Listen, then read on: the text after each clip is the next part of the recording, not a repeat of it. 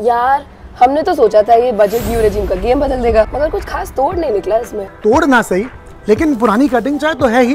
Tax बचाने के नुस्खे तो बहुत मिलते रहेंगे। अरे ब्रो तो कब बताएगा? इन दिनों टैक्स बचाना बहुत ज़रूरी है यार। सिंपल है रे। एटीसी में कितने option ULIPs PPF ELSS FD home loan interest इतनी सारी चीज़ें हैं। डेढ़ लाख तक का टैक्स सेविंग कर सकते हैं। तू एनपीएस तो भूल ही गई।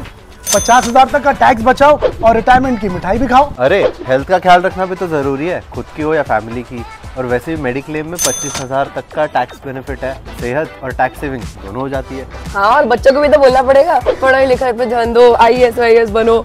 एजुकेशन लोन इंटरेस्ट का पूरा पैसा बचा सकते हैं। ईवीज पे तो डेढ़ लाख तक के इंटरेस्ट की सेविंग्स हो सकती है। तो जहाँ पना तोहफा कबूल करो। और एच भी तो रेंटल लाइफ सॉर्ट कर रहा है। पैन की भी ज़रूरत नहीं पड़ती एक लाख तक। हाउसिंग लोन इंटरेस्ट पे तो दो लाख तक का टैक्स बेनिफिट है।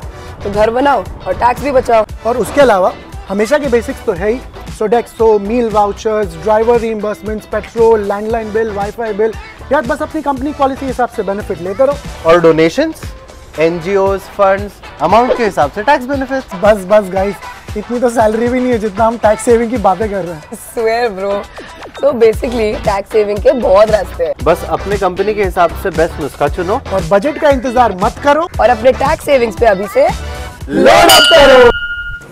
ऐसे और चाय टाइम फाइनेंस के लिए हिट फॉलो